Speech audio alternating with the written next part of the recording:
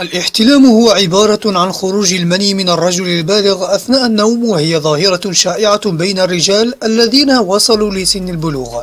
يحدث الاحتلام نتيجة بعض الأحلام التي تتعلق بممارسة الجنس وفي الغالب تكون وجوه غير مألوفة عند الرجل وفي أغلب الأحيان يحدث نتيجة النوم على البطن مما يسبب الإثارة الجنسية أثناء النوم أو التعرض لبعض المثيرات الجنسية قبل النوم تعتبر ظاهرة فيزيولوجية أو نفسية وذلك لأن كثرة التفكير في الجنس نهارا أو مشاهدة الأفلام الإباحية تساعد في تكوين صورة خيالية عند الرجال مما يؤدي لخروج المني هل الاحتلام ظاهرة صحية أم مرضية؟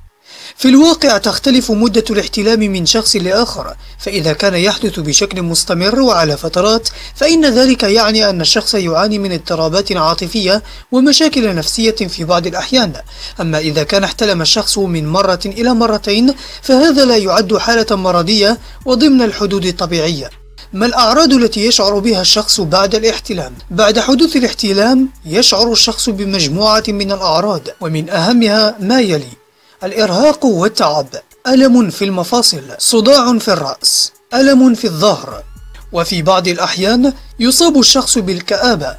ما الفرق بين الاحتلام والاستحلام؟ أي العادة السرية؟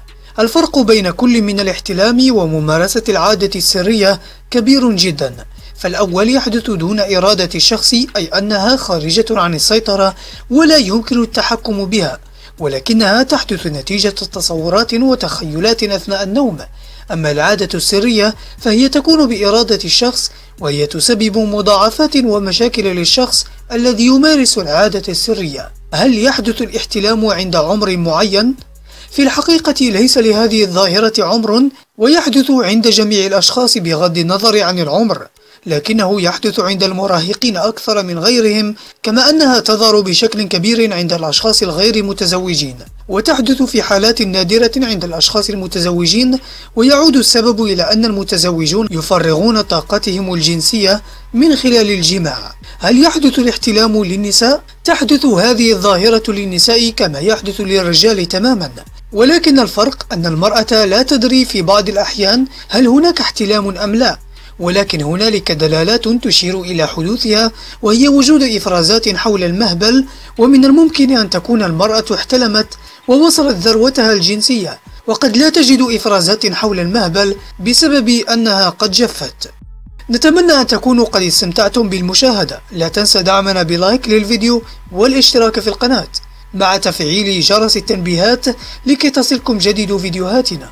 شكرا على المتابعة وإلى اللقاء.